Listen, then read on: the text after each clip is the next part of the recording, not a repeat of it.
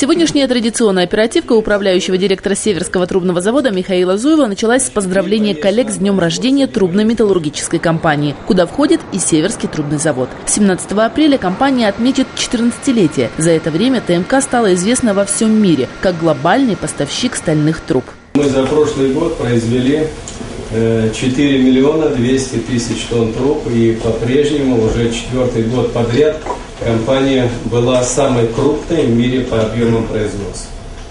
Сегодня мы присутствуем практически в 85 странах мира. Значит, либо есть там производство, либо есть наши торговые представительства. Везде, где есть нефть и газ на этом земном шаре, везде есть наше присутствие.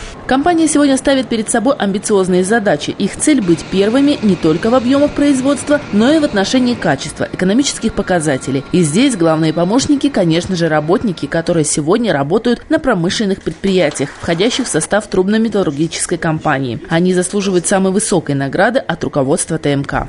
Заслуженный работник ТМК следующим работникам.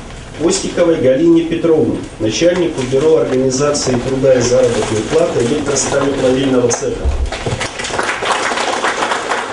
Звание «Заслуженный работник ТМК» получает и Василий Савелков, бригадир по перемещению сырья, полуфабрикатов и готовой продукции в процессе производства трубопрокатного цеха номер один Северского трубного завода. А знак отличия ТМК второй степени из рук управляющего директора Михаила Зуева получает заместитель начальника трубопрокатного цеха номер один по механооборудованию Александр Ломакин. Компания надеется, что эти же люди в дальнейшем помогут ей достигать новых производственных высот. Сегодня в планах ТМК выпуск новой продукции – для освоения шельфовых месторождений. Компания ставит себе задачу развивать не только производство э, труб, э, значит, но и делать сервис для нефтегазовых компаний, присутствовать везде, где необходима помощь наших сервисных предприятий. Вы знаете, что в компании основное развитие сегодня получают не только заводы, производящие трубную продукцию, а развивается в основном сервисное направление.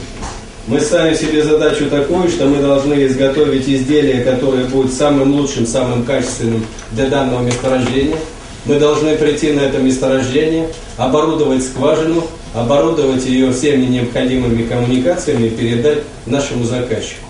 Среди 40 тысяч работников, которые сегодня трудятся в компании, и Азат Ахмадишин, заместитель начальника энергетического цеха. Впервые Азат Габдулович пришел на Северский трубный в 1991 году, сразу после окончания института. Здесь нашел любимую и интересную работу, а сегодня за долгий труд на благо компании Азат Ахмадишин награждается почетной грамотой. Ну, Северский трубный завод работает э, по заданному вектору, наверное, это есть главное – производство, э, забота о людях.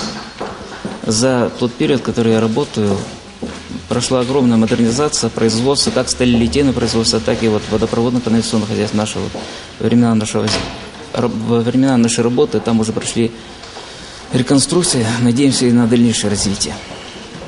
Но основное это, наверное, вектор это производство, забота о людях.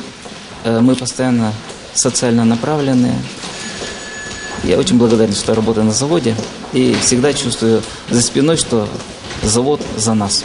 Представительство ТМК сегодня можно найти как в российском дивизионе, так и в Румынии, Казахстане, Омане и США. Везде работают люди, преданные своей профессии. Вот, к примеру, Ирина Шмелева работает в Ницце Северского трубного завода уже 30 лет, считая СТЗ гарантом стабильности. Это вся жизнь. Здесь начинала работать. Здесь я была на практике во время учебы. Родились дети, получила квартиру. Социальная ответственность компании как работодателя – это основа для формирования благоприятных условий труда и жизни работников. Компания создает современные рабочие места, обеспечивает конкурентный уровень оплаты труда. Ксения Балденкова, Сергей Чужов, Новости Полевского.